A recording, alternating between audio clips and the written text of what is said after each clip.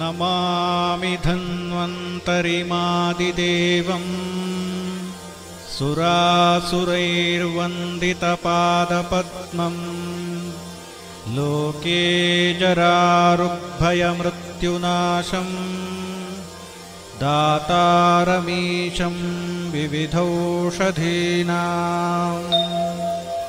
ಆಯುರ್ವೇದದ ಮೂಲಕ ರೋಗಮುಕ್ತ ಸಮಾಜದ ಪರಿಕಲ್ಪನೆ ಈ ವಿಷಯದ ಬಗ್ಗೆ ಇದೀಗ ಮಾತನಾಡುವವರು ಉಡುಪಿ ಕುತ್ಪಾಡಿಯ ಶ್ರೀ ಧರ್ಮಸ್ಥಳ ಮಂಜುನಾಥೇಶ್ವರ ಆಯುರ್ವೇದ ಮಹಾವಿದ್ಯಾಲಯ ಹಾಗೂ ಆಸ್ಪತ್ರೆಯ ರೋಗ ನಿದಾನ ವಿಭಾಗದ ಸಹಾಯಕ ಪ್ರಾಧ್ಯಾಪಕ ಡಾಕ್ಟರ್ ಅರುಣ್ ಕುಮಾರ್ ಎಂ. ಎಲ್ಲರಿಗೂ ನಮಸ್ಕಾರ. ಶ್ರೇಷ್ಠವಾದ ಮತ್ತು ಶ್ರೇಯಸ್ಕರವಾದ ಜೀವನ ಶೈಲಿಯನ್ನು ಅನುಸರಿಸುತ್ತಾ ಆರೋಗ್ಯವನ್ನು ಕಾಪಾಡಿಕೊಂಡು ಬಂದವರು ನಮ್ಮ ಹಿರಿಯರು. ಜೀವನ ಶೈಲಿಯನ್ನು ಸಮರ್ಪಕವಾದ ಪಥದಲ್ಲಿ ನಡೆಸುವ ಹಲವಾರು ವಿಧಾನಗಳಲ್ಲಿ ಪ್ರಮುಖವಾದದ್ದು ಆಯುರ್ವೇದ ಪದ್ಧತಿ. ಆಯುರ್ವೇದದ ಮೂಲ ಉದ್ದೇಶ ಆರೋಗ್ಯವಂತರ ಆರೋಗ್ಯವನ್ನು ಕಾಪಾಡುವುದು ಹಾಗೂ ವಿಕಾರ ಅಥವಾ ರೋಗಗಳ ಶಮನ ಮಾಡುವುದು. ಆರೋಗ್ಯವನ್ನು ಕಾಪಾಡುವುದು ಅಂದರೆ ಸ್ವಸ್ಥೋ ಧಾತು ಸಾಮ್ಯವಾನ್. ದೇಹದ ದೋಷ, ಧಾತು, ಅಗ್ನಿ, ಮಲಕ್ರಿಯೆ ಆತ್ಮ ಇಂದ್ರಿಯ ಮನಗಳ ಸಮಾವಸ್ಥೆಯನ್ನು ಕಾಪಾಡುವುದು. ಆದರೆ ಸಮಾವಸ್ಥೆ ಅಥವಾ ಹೋಮಿಯೋಸ್ಟಾಸಿಸ್ ಅನ್ನು ಕಾಪಾಡುವುದು ಅಷ್ಟು ಸುಲಭವಲ್ಲ. ಪ್ರತಿದಿನವೂ ಹಲವಾರು ರೋಗಾಣುಗಳು, ಸೂಕ್ಷ್ಮಾಣುಗಳು, ವಿವಿಧ ರಾಸಾಯನಿಕಗಳು, ಕಿರಣಗಳು ದೇಹವನ್ನು ಬಾಧಿಸುತ್ತಲೇ ಇರುತ್ತದೆ. ಶಾರಂಗಧರ ಸಂಹಿತೆಯಲ್ಲಿ ಉಲ್ಲೇಖಿಸಿದಂತೆ, ನ ಜಂತು ಕಶ್ಚಿತ್ ಅಮರಃ ಪೃಥ್ವಿಯಾಂ ಜಾಯತೆ ಕ್ವಚಿತ್. ಭೂಮಿಯ ಮೇಲಿರುವ ಯಾವುದೇ ಜೀವಿಯು ಅಮರವಲ್ಲ. ಮರಣವನ್ನು ತಪ್ಪಿಸಲಾಗದು. ಆದರೆ ವ್ಯಾಧಿಗಳ ಸಂಭವನೀಯತೆಯನ್ನು ತಪ್ಪಿಸಬಹುದು.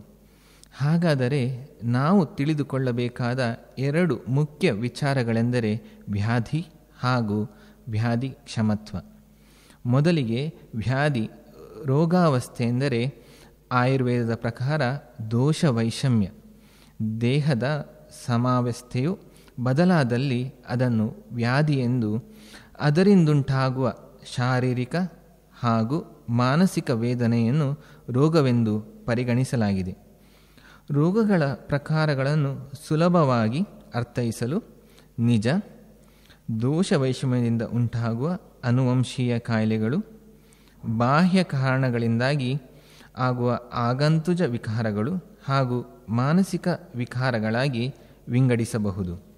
ಮಾನವರ ಪ್ರಕೃತಿ, ಆಹಾರ ಕ್ರಮ, ದೇಹಬಲ, ಸಾತ್ಮ್ಯ, ಸತ್ವ ವಯಸ್ಸುಗಳಲ್ಲಿ ವ್ಯತ್ಯಾಸವಿರುವಾಗ ಮಾನವನೇಕೆ ಸಾಂಕ್ರಾಮಿಕ ರೋಗಗಳಿಗೆ ತುತ್ತಾಗುತ್ತಾನೆ ಎಂದು ಶಾಸ್ತ್ರದಲ್ಲಿ ವಿಶ್ಲೇಷಿಸಿದಾಗ ಸಾಮಾನ್ಯ ಕಾರಣಗಳಾದ ವಾಯು, ಜಲ, ದೇಶ ಹಾಗೂ ಕಾಲಗಳ ವೈಪರೀತ್ಯವನ್ನೇ ಪ್ರಮುಖವಾಗಿ ವಿವರಿಸಲಾಗಿದೆ. ಮಾನವನ ಪ್ರಜ್ಞಾಪರಾಧದಿಂದ ಮಾಡಿದ ಅಸತ್ಕರ್ಮಗಳ ಅಧರ್ಮವೇ ಜನಪದೋಧ್ವಂಸಕ್ಕೆ ಕಾರಣ ಎಂದು ವಿವರಿಸಲಾಗಿದೆ. ಇವೆಲ್ಲ ಕಾರಣಗಳ ಹೊರತಾಗಿ ಆರೋಗ್ಯವನ್ನು ಕಾಪಾಡಲು ಇರುವ ದೇಹದ ವ್ಯವಸ್ಥೆಯೇ ವ್ಯಾಧಿ ಕ್ಷಮತ್ವ ಅಥವಾ ರೋಗ ನಿರೋಧಕ ಶಕ್ತಿ. ವ್ಯಾಧಿ ಕ್ಷಮತ್ವವನ್ನು ವ್ಯಾಖ್ಯಾನಿಸುವುದಾದರೆ ವ್ಯಾಧಿ ಕ್ಷಮತ್ವಂ ವ್ಯಾಧಿ ಬಲ ವಿರೋಧಿತ್ವಂ, ವ್ಯಾಧಿ ಉತ್ಪಾದ ಪ್ರತಿಬಂಧಕತ್ವಮಿತಿ ಯಾವತ್? ಇದರಲ್ಲಿ ಎರಡು ಅಂಶಗಳಿವೆ. ರೋಗ ಬರದೆ ಇರುವ ಹಾಗೆ ತಡೆಗಟ್ಟುವುದು, ರೋಗೋತ್ಪತ್ತಿ ಆದಲ್ಲಿ ಅದರ ವಿರುದ್ಧ ಹೋರಾಡುವುದು. ಇದನ್ನು ಬಲ ಎಂದು ಕರೆಯುತ್ತಾರೆ. ಹಾಗಾದರೆ ವ್ಯಾಧಿ ಕ್ಷಮತ್ವವು ಎಲ್ಲ ವ್ಯಕ್ತಿಗಳಲ್ಲಿ ಸಮನಾಗಿರುವುದೇ ಎಂದು ಕೇಳಿದರೆ ಇಲ್ಲ. ನ ಚ ಸರ್ವಾಣಿ ಶರೀರಾಣಿ ವ್ಯಾಧಿಕ್ಷಮತ್ವೇ ಸಮರ್ಥಾನಿ ಭವಂತಿ. ವ್ಯಾಧಿಕ್ಷಮತ್ವವು ವ್ಯಕ್ತಿಯಿಂದ ವ್ಯಕ್ತಿಗೆ ಜನಾಂಗ ಪ್ರಭೇದಗಳಿಗೆ ಅನುಸಾರವಾಗಿ ವ್ಯತ್ಯಾಸವಾಗುತ್ತದೆ. ಶರೀರಾಣಿ ಅತಿ ಸ್ಥೂಲಾನಿ ಅತಿಕೃಶಾನಿ ವಿನಿಷ್ಟ ಮಾಂಸ ಶೋಣಿತ ಅಸ್ಥೀನಿ, ದುರ್ಬಲಾನಿ ಅಸಾತ್ಮ್ಯ ಆಹಾರ ಉಪಚಿತಾನಿ, ಅಲ್ಪ ಆಹಾರಾಣಿ ಅಲ್ಪಸತ್ವಾನಿ ಚ ಭವಂತಿ ವ್ಯಾಧಿ ಅಸಹಾನಿ. ಅತಿ ಸ್ಥೂಲಕಾಯದವರಲ್ಲಿ ರಕ್ತಾದಿ ಧಾತುಗಳು ಕಡಿಮೆಯಾಗಿ ದುರ್ಬಲರಾದ ವ್ಯಕ್ತಿಗಳಲ್ಲಿ ದೇಹಕ್ಕೂ ಮನಸ್ಸಿಗೂ ಹಿತವಲ್ಲದ ಆಹಾರ ಸೇವಿಸುವವರಲ್ಲಿ, ಅತ್ಯಂತ ಕಡಿಮೆ ಪ್ರಮಾಣದ ಆಹಾರ ಸೇವಿಸುವವರಲ್ಲಿ ಹಾಗೂ ದುರ್ಬಲ ಮನಸ್ಕರಲ್ಲಿ ವ್ಯಾಧಿ ಕ್ಷಮತ್ವವು ಕಡಿಮೆ ಇರುತ್ತದೆಂದು ವಿವರಿಸಲಾಗಿದೆ. ಹಾಗಾದರೆ ವ್ಯಾಧಿ ಕ್ಷಮತ್ವವನ್ನು ನಿರ್ಧರಿಸುವ ಕೆಲವು ಅಂಶಗಳೆಂದರೆ ದೇಶ, ಪರಿಸರ, ಯಾವ ಪ್ರದೇಶದಲ್ಲಿ ಸ್ವಾಭಾವಿಕವಾಗಿ ಬಲ ಹೆಚ್ಚಿರುತ್ತದೋ ಅಂತಹ ಪ್ರದೇಶದಲ್ಲಿ ಹುಟ್ಟಿದವರಲ್ಲಿ ಬಲ ಅಧಿಕವಾಗಿರುತ್ತದೆ. ಎರಡನೇದಾಗಿ ಕಾಲ. ಆರು ಋತುಗಳಿಗೆ ಅನುಸಾರವಾಗಿ ಕಾಲವನ್ನು ಆಧಾನ ಕಾಲ ಹಾಗೂ ವಿಸರ್ಗ ಕಾಲ ಎಂದು ವಿಭಾಗಿಸಲಾಗಿದೆ. ವರ್ಷ, ಶರತ್ ಹಾಗೂ ಹೇಮಂತ. ಅಂದರೆ ಸಾಮಾನ್ಯವಾಗಿ ಜುಲೈ ಮಧ್ಯಭಾಗದಿಂದ ಜನವರಿ ಮಧ್ಯಭಾಗದವರೆಗೆ ಬಲವು ಕಾಲಾನುಗುಣವಾಗಿ ಉತ್ತಮವಾಗಿರುತ್ತದೆ.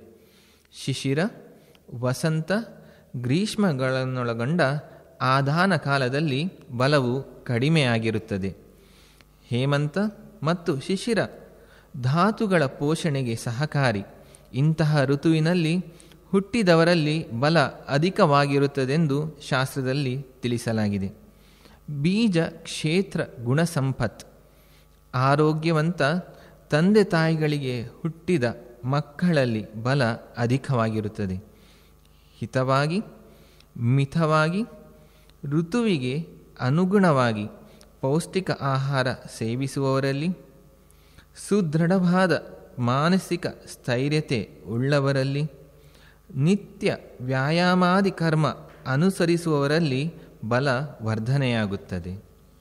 ಯಾವ ರೀತಿಯಿಂದ ವ್ಯಾಧಿ ಕ್ಷಮತ್ವ ಶಕ್ತಿಯನ್ನು ಉತ್ತಮಗೊಳಿಸಬಹುದು ಎಂದು ವಿಮರ್ಶಿಸಿದರೆ ಈ ಪ್ರಕ್ರಿಯೆಯನ್ನು ಗರ್ಭಾಧಾನದ ಮೊದಲು ಪ್ರಾರಂಭಿಸಿದರೆ ಒಳ್ಳೆಯದು. ಗರ್ಭದಾನ ಪೂರ್ವಕ ಶೋಧನ, ಗರ್ಭಿಣಿಯಾದ ಬಳಿಕ ಮಾಸಾನುಮಾಸಿಕ ಪರಿಚರ್ಯ ಬಲವರ್ಧನೆಗೆ ಸಹಾಯಕಾರಿ. ಶಾಸ್ತ್ರೋಕ್ತವಾದ ಷೋಡಶ ಸಂಸ್ಕಾರಗಳು, ಹುಟ್ಟಿನಿಂದ ನಡೆಸುವಂತಹ ಹದಿನಾರು ಸಂಸ್ಕಾರಗಳು ಮಕ್ಕಳ ಬಲವರ್ಧನೆಗೆ ಉಪಯುಕ್ತ. ಅದರಲ್ಲಿ ಮುಖ್ಯವಾಗಿ ಲೇಹನ ಹಾಗೂ ಮೇದ್ಯ ರಸಾಯನಗಳ ಸೇವನೆ ಸಹಕಾರಿ. ದಿನಚರ್ಯೆ ಋತುಚರ್ಯೆ ಸದ್ವೃತ್ತಗಳ ಮೂಲಕ ಸ್ವಸ್ಥವೃತ್ತ ಪರಿಪಾಲನೆ ವ್ಯಾಧಿಕ್ಷಮತ್ವ ಶಕ್ತಿಯನ್ನು ಹೆಚ್ಚಿಸುತ್ತದೆ. ಸರಿಯಾದ ಆಹಾರ, ನಿದ್ರೆ, ಬ್ರಹ್ಮಚರ್ಯಗಳ ಪಾಲನೆ ಅತ್ಯಗತ್ಯ.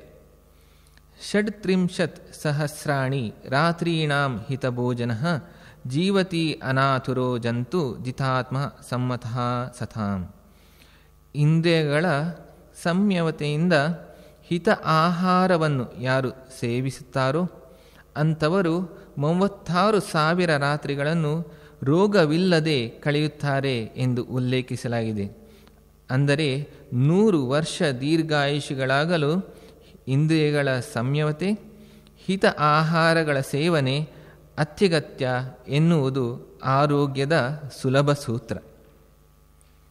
ನಿತ್ಯ ಯೋಗ ಹಾಗೂ ವ್ಯಾಯಾಮಗಳ ಅಭ್ಯಾಸ ಕಾಲಕ್ಕನುಗುಣವಾಗಿ ಪಂಚಕರ್ಮಗಳಿಂದ ಋತುಶೋಧನೆ, ಮಾನಸಿಕ ಬಲವರ್ಧನೆಗಾಗಿ ಧ್ಯಾನ, ಪ್ರಾಣಾಯಾಮ, ರಸಾಯನ ವಾಜೀಕರಣ ದ್ರವ್ಯಗಳನ್ನು ವೈದ್ಯರ ಸಲಹೆಯ ಮೇರೆಗೆ ಸೇವಿಸುವುದು, ಆಚಾರ ರಸಾಯನಗಳ ಮುಖಾಂತರ ಕರ್ಮ ಧರ್ಮಗಳ ಪರಿಪಾಲನೆ ವ್ಯಾಧಿಕ್ಷಮತ್ವದ ವರ್ಧನೆಗೆ ಸಹಾಯಕ.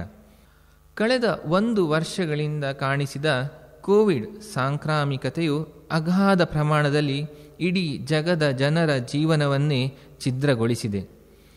ಈಗ ರೋಗದ ಬಗೆಗಿನ ಒಂದು ಹಂತದ ಜ್ಞಾನ ಹಾಗೂ ತಿಳುವಳಿಕೆ ಔಷಧೋಪಚಾರ, ರೋಗಿಗಳ ಚಿಕಿತ್ಸೆ, ಶಿಷ್ಟೋಪಚಾರ, ಸರಕಾರದ ಕಟ್ಟುನಿಟ್ಟಿನ ಕ್ರಮಗಳು, ಲಸಿಕೆಯ ಭರವಸೆ, ಕೋವಿಡ್ ಮಹಾಮಾರಿಗೆ ಒಂದಿಷ್ಟು ಆಶಾ ಕಿರಣಗಳಾಗಿ, ಬೆಳ್ಳಿ ಕಿರಣಗಳಾಗಿ ಮೂಡತೊಡಗಿವೆ.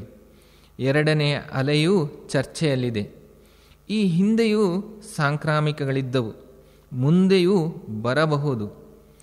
ಅಂತಹ ವಿಷಮ ಸ್ಥಿತಿಯನ್ನೆದುರಿಸಲು ರೋಗಮುಕ್ತ ಸಮಾಜದ ಪರಿಕಲ್ಪನೆ ಅತಿ ಅಗತ್ಯ. ನರೋ, ಹಿತ ಆಹಾರ ವಿಹಾರ ಸೇವಿ, ಸಮೀಕ್ಷಕಾರಿ ವಿಷಯೇಷು ಅಸಕ್ತಃ, ಧಾತ ಸಮಃ ಸತ್ಯಪರಃ ಕ್ಷಮಾವಾನ್, ಆಪ್ತೋಪಸೇವಿ ಚ ಭವತಿ ಅರೋಗಃ ಎನ್ನುವ ಶಾಸ್ತ್ರೋಕ್ತಿಯಂತೆ ಎಲ್ಲರೂ ಹಿತ ಆಹಾರಗಳ ಸೇವನೆ ಮಾಡಿದ್ದಲ್ಲಿ ವ್ಯಾಯಾಮಗಳ ನಿತ್ಯಾಭ್ಯಾಸ ಅನುವಳಿಸಿದಲ್ಲಿ, ತಮ್ಮ ಇಂದ್ರಿಯಗಳನ್ನು ಜಯಿಸುವತ್ತ ಶ್ರಮವಿದ್ದಲ್ಲಿ ಧಾತ ಧಾನಾದಿ ಸತ್ಕರ್ಮಗಳ ಆಚರಣೆ, ಸಮಹ ಎಲ್ಲರೂ ಸಮಾನರೆಂಬ ಆರೋಗ್ಯಯುತ ಚಿಂತನೆ, ಸತ್ಯನಿಷ್ಠೆ, ಕ್ಷಮಾವಾನ್ ಕ್ಷಮಿಸುವ ಔದಾರ್ಯ ಗುಣ ಆಪ್ತೋಪಸೇವಿ ಸಜ್ಜನರ ಸಂಘ ಸಜ್ಜನರಾಗುವ ಹಂಬಲ ಇಂತಹ ಗುಣೋತ್ಕೃಷ್ಟಗಳಿಂದ ವ್ಯಕ್ತಿಯು ಸಮಾಜವು, ರಾಷ್ಟ್ರವು ಆರೋಗ್ಯಯುತವಾಗುವುದು. ಪ್ರಾಚೀನ ಆರೋಗ್ಯ ವಿಜ್ಞಾನವಾದ ಆಯುರ್ವೇದವು ಆರೋಗ್ಯವನ್ನು, ವ್ಯಾಧಿಮುಕ್ತ ಬದುಕನ್ನು, ಸಮರ್ಪಕವಾದ ಜ್ಞಾನವನ್ನು, ಸಾರ್ಥಕ ಜೀವನ ಪಥವನ್ನು ನೀಡಿ ಮೋಕ್ಷದ ಪ್ರವರ್ತಕ ಎನ್ನುವುದನ್ನು ಶಾಸ್ತ್ರದಲ್ಲಿ ಮಂಡಿಸಿದ ವಿಚಾರ. ಆದುದರಿಂದ ಆಯುರ್ವೇದವನ್ನು ಅನುಸರಿಸಿ ಲೋಕ ಸಮಸ್ತ ಸುಖಿನೋ ಭವಂತು. ಲೋಕದ ಎಲ್ಲರೂ ಆರೋಗ್ಯಯುತರಾಗಿ ಸುಖಿಗಳಾಗಿ ಬಾಳಲಿ ಎಂದು ಆಶಿಸುತ್ತಾ ನನ್ನ ಮಾತುಗಳಿಗೆ ವಿರಾಮ ನೀಡುತ್ತಿದ್ದೇನೆ. ಧನ್ಯವಾದಗಳು. ಆಯುರ್ವೇದದ ಮೂಲಕ ರೋಗಮುಕ್ತ ಸಮಾಜದ ಪರಿಕಲ್ಪನೆ.